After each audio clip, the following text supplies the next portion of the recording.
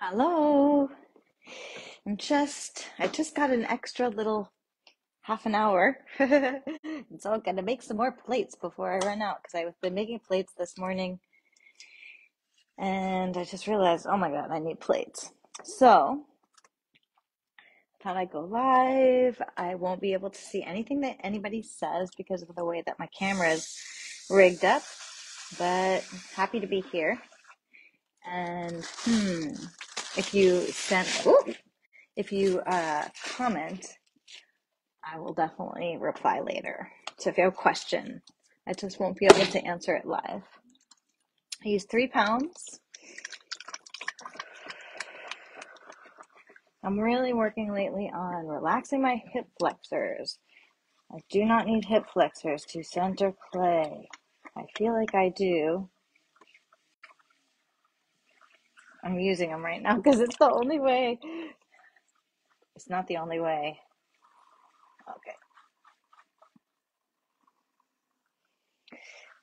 Okay. so in my body, it's like this whole new, I have to be a whole new way. Um, I'm just feeling it lately that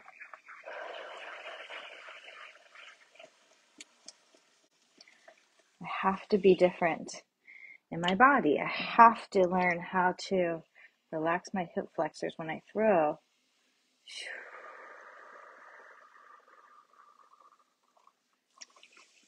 I think I'm gonna make four of these and then run. four, four plates and run. They take me, I think, about three minutes each. They're three pounds and they take three minutes. Um, and I haven't made them in years, except for probably a couple at the holidays. So I have to relearn, I have to re remember and relearn all of my old little tricks. One of them is to grab the clay for the rim here, cut off this excess at this stage. If you do it too late, it's too hard to get it off. This has to be all the way on the wheel. I mean, on the bat. Undercut that thing. And then it should come out really nice this is how you know if you did it right. If it comes out really nice like that. Here's one last little piece. Ah, and that just makes everything better right there. So, these will be 10 inch dinner plates. Although for myself, I kind of like a 9 inch dinner plate though. Be a little variation probably.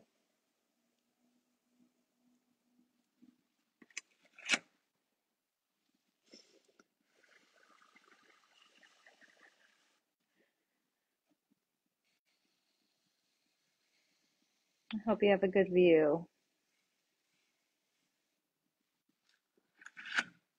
I think it is pretty good. You can leave me a comment and let me know whether or not you think it's a good view. Now, one thing I don't remember is whether or not it's better to cut the plate off now or wait and cut it off easy later. I do it now because it's easier when it's just right here on the wheel. I think it's going to be totally fine. That's my feeling.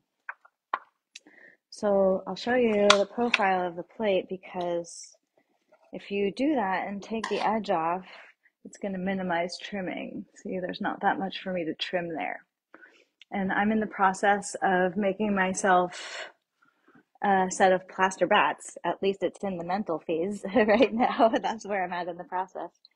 And they're going to have a channel for the feet. And then I'll probably use like two and a half pounds because I won't be trimming a half pound off of every plate. I don't know if it's a half pound, maybe quarter pound. But in any case, I won't have to trim them. Uh, this will be it. Three minutes, done. Plate, done. That's the goal, at least. It's probably more like three and a half minutes. Okay. Not like anybody really cares, except for me.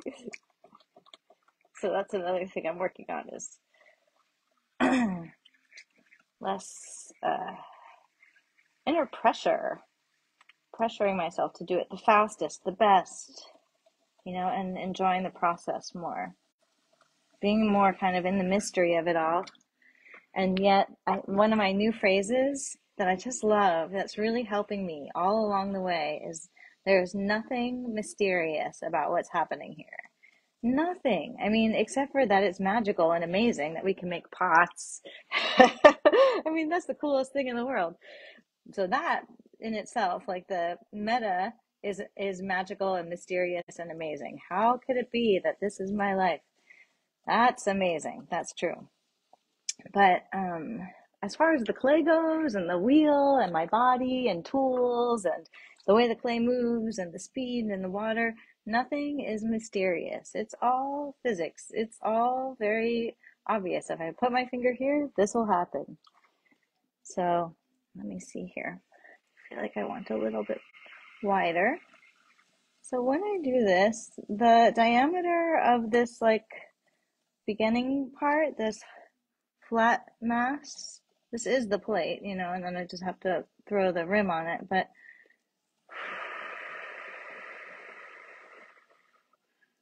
I think I'll do this on a couple of them. Um, it's almost out to the rim, ideally. I mean, to my throwing stick. So it's not going to get that much further here. So here's where I use this tool. This tool I inherited from my friend Chris Gumm who was a potter and who died. And um, some amazing person got in touch with me and asked me if I wanted some of his tools. I don't remember her name now, but I was just so touched that she did, and I took a few. And it's amazing. It's amazing to have his tools. Chris Gumm was an amazing potter. Look him up. G, I think it's G U M M. Chris Gumm. I have some pots in here of his. He was so nice. He used to give me pots. okay, now this little piece I'll throw out now to the rim. Just, I mean, I keep saying that to my, throw the rim out to my throwing stick. So all the plates are the same size. And then I compress. I've already compressed. This is kind of more just finishing it off.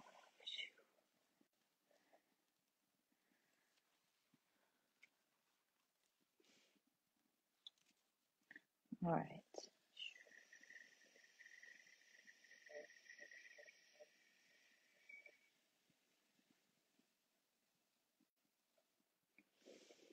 Okay.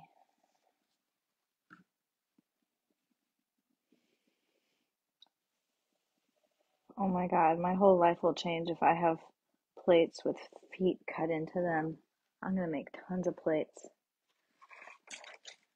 That's the thing I I mean, I love every aspect of pottery, almost every aspect I love. Um, but trimming plates is down towards the bottom with like glaze mixing glazes or glaze development. I I really like the idea of doing that. I'm just if I could just do something all the time, it would just be this. Just make stuff. Make stuff, make stuff. There's always so much more to make that still hasn't been made. I don't know if you can see this over here, but I'm noticing that I have a little ding in my one of my in the first plate I made. When I took it off, it scraped this probably, and um, so when that happens, I turn the little owie to face me, so uh, it will not get lost. I see it; it's in my face. I won't forget to clean that up. But it's now is not the best time to do that. This is the one phase of pottery, um, at least wheel throwing stuff that uh, where it's not it's not a good idea to fix it right now. You have to wait until that rim firms up. Not not have to, but for me it's better. Let's say I think it's better. I learned to center these plate forms and platters on the way out. You don't have to center it and then and then pull it out. Okay, great.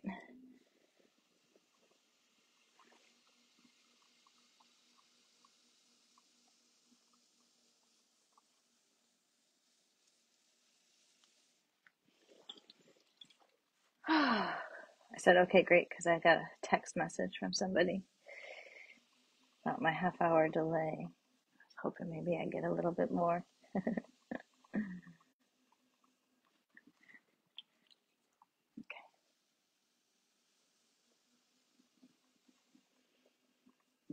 I'm thinking about raising my wheel up and having a standing wheel. I just, I absolutely need to do this differently. I can just feel it in my body, my hip flexors. I'm too tight.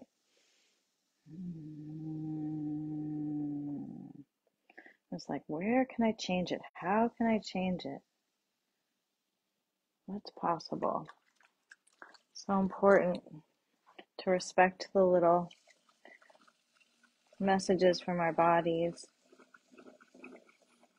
I just read an awesome article by, I think it, I'm almost positive it was John Glick, and um, about his sciatica and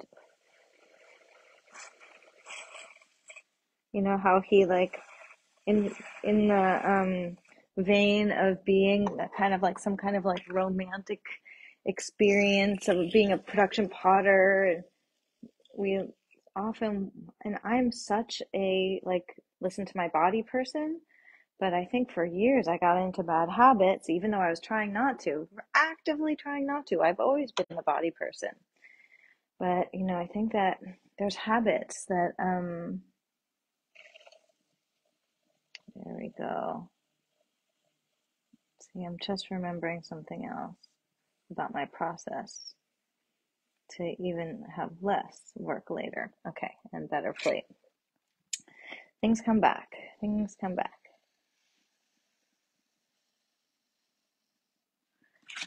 I've taken like six or seven years, I think, for the most part, off of doing pottery. So it's like coming back, noticing how things feel in my body, remembering how to make things. It's very multifaceted um, and fun. It's amazing to think I could do it in a way that's more more embodied, more aware, more peaceful, like less pressure, less rushing.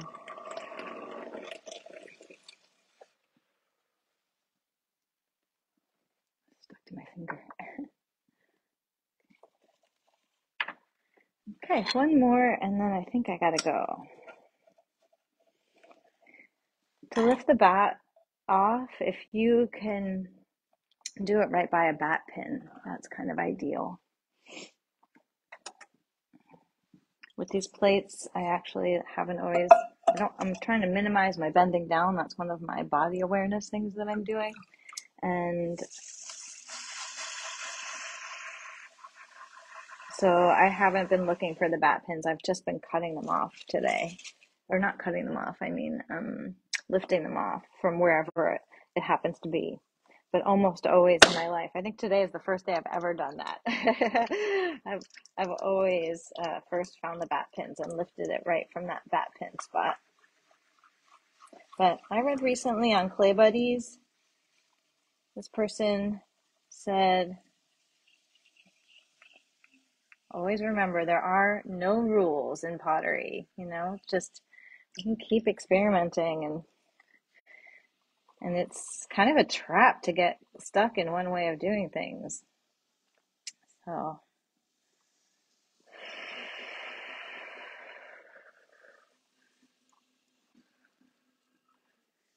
Mm,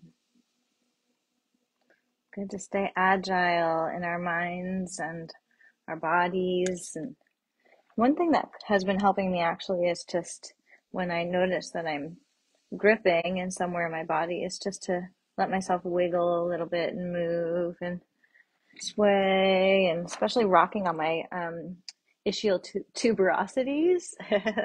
Those are also called the sits bones. Um, kind of being more aware of that spot, resting there. It's been really helpful. Okay, last one. Just digging underneath here. That's what I'm doing. Just digging underneath, lifting the rim kind of up and out of the way so I can cut this off. I'm just going down towards the wheel like once, just like with throwing, once per rotation. I'm not rushing to get through that. I'm trying to make a nice clean cut there. And then under. This one's going to come right off. Took me a while to remember how I did that. I was like, I know it gets better than this. I know it's easier. And here's that part that I just realized is like I dig under there with my fingers and I kind of throw a little bit here. I'm kind of throwing. Okay. Try to keep my hands clean.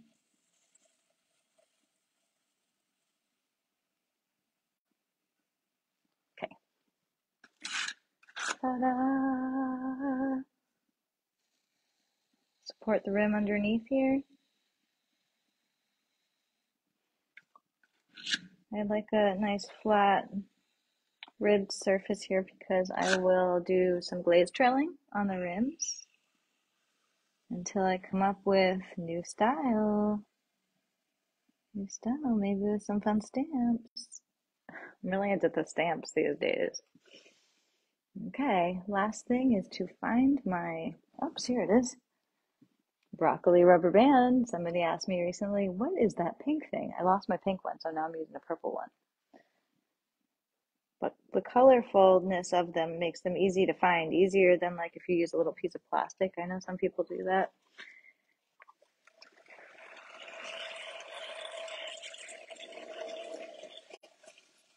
Okay.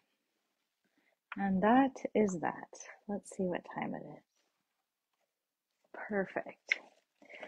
Yep. Okay. That's the end of my plates here. Let me see if I can find that bat pin. There it is. there you go. And ta-da! Yay, I'm so happy with how they're coming out. They're, they just feel like they're going to be really great plates. And I just want to have tons of them. and I have to make salad plates and platters and big serving bowls. That's what's on my roster here for the near future.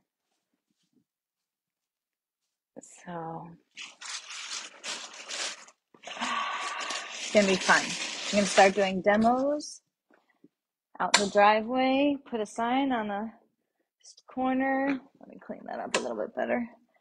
A sign on the corner, pottery demo, and then I'm thinking about getting like a wheel that you could spin, like the Wheel of Fortune, and on it would say like make a bowl or put a handle on a mug or uh you know whatever customer's choice or whatever you know i can kind of put things on there that i'm in the, in process with so but then it could be more interactive for the demo with my wheel isn't that a good idea i think it's going to be so fun okay well if you got to this point thanks for watching and this will get uploaded onto my podcast. I have a Amy the Potter podcast, Wisdom from the Wheel, and um, this will be there. So, cheers, everyone. Have a beautiful day. Hi, Elizabeth. I see that you're there. I can't see anybody else. Debbie, Tamara, oh, somebody else too. Jennifer. Hi. Thanks for coming.